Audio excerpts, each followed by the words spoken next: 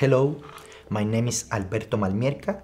It is with pleasure that I greet you all from the Environment Statistics and Climate Change Unit in the Statistic Division of the Economic Commission for Latin America and the Caribbean, ECLAC. In the following video, I will make an introduction to certain basic concepts about statistical measurement procedures and to begin with, it should be noted that in any statistical measurement process it is essential to start from certain questions referring to the phenomena that are required to be investigated, whether they are from the socio-demographic domain, economic domain, or, as in the case that concern us in this course, of the environmental domain, domain that we all know is complex, multidisciplinary, whose statistical approach involves considering both biophysical, socioeconomic, and institutional aspects on the basis of different sources, methodologies for collecting and preparing information that are of a diverse nature from different institutes, institutions that are not always articulated and interrelated.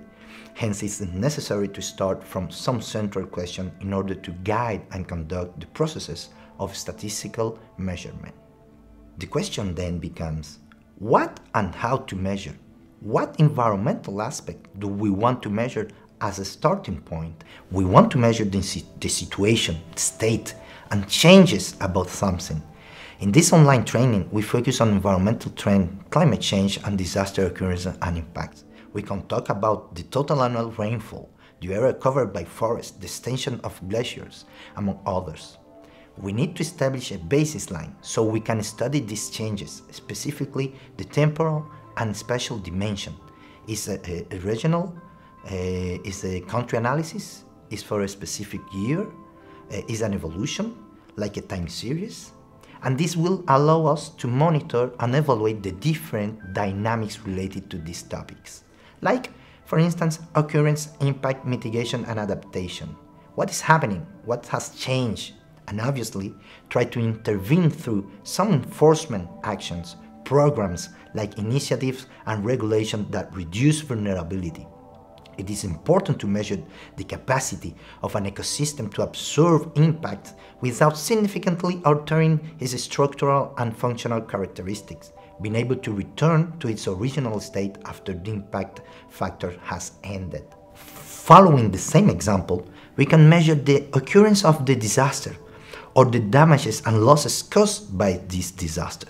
But we need to have a risk and disaster management cycle to be able to respond or recovery loss uh, because it's an external shock. So it's important to reduce our exposure.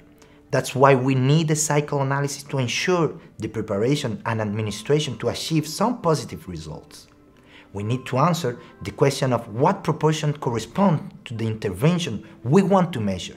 Then, synthesizing whether we try to measure the state, dynamic, or impact of intervention referring to the environmental dimension, we need to define and specify the scope of such measurement. Those, we need to answer the same question, what we want to measure. However, the next question is how to measure. Produce systematic and temporally and special comparable official statistics or indicators implies having a series of requirements and implementation of statistical methodologies and techniques regarding the situation of environment statistics in the Latin American and Caribbean region, I must mention that we are navigating the third wave of statistical development, within which environment statistics and indicators are in full development through the construction of metrics that describe the state, the main environmental trends, and their relationship with the uh, complex social and economic dynamics. That is why we need to produce a spatial, temporal, comparable statistical series and indicators. The multidisciplinary nature of environmental issues demands the articulation of technical capacities from different specific disciplines, to mention a few, biology, hydrology, meteorology, geography, agronomy, economics, sociology, uh, anthropology, etc together with a, specialist in techniques and knowledge in statistical and computer science. How is such articulation achieved?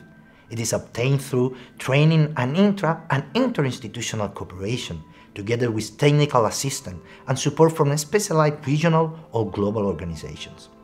All this production of information must necessarily be updated and dissemin disseminated periodically, accessible to users in friendly formats, sustainable over time for which is essential to have strong political support and sufficient resources to guarantee and sustain an adequate institutionality of the area responsible for the production of environment statistics. Hopefully, uh, and it's desirable uh, that they have the same uh, hierarchical level in the organization chart as the area destined to the elaboration of socio-demographic and economic data.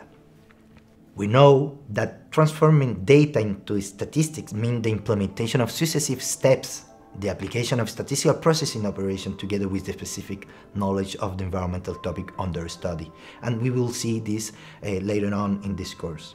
As I mentioned previously, this necessarily implies starting from the identification and dissemination of the variables to be considered, and from the statistical unit of reference, define what is inside and what is outside the circle. The borders that remain inside and that are outside, for example, of the definition of forest, which we uh, include and do not include in the definition of land of desertification, deforestation, disaster, protected area, renewable energy, clean energy, categories of land use, access to the population to sanitation, uh, supply of drinking water, human solid waste to mention just a few. These are concepts that is necessary to articulate with a statistical classification and international standards to later identify the data sources, make explicit the methodology of surveys and calculation used together with an exhaustive description of the metadata through the elaboration of methodological sheets or technical sheets. Those, not all sources are suitable to measure certain variables. Therefore, we must be very careful in the selection of these sources so that uh, they really take into account the phenomenon uh, we want to measure. Generally, statistics do not include or study the exception. That is why we define what we want in advance. To conclude, during the course we will deepen knowledge about different aspects of the production of environment statistics and we will better understand what we have called the virtuous circle of production of data, statistics, indicators and environmental accounts.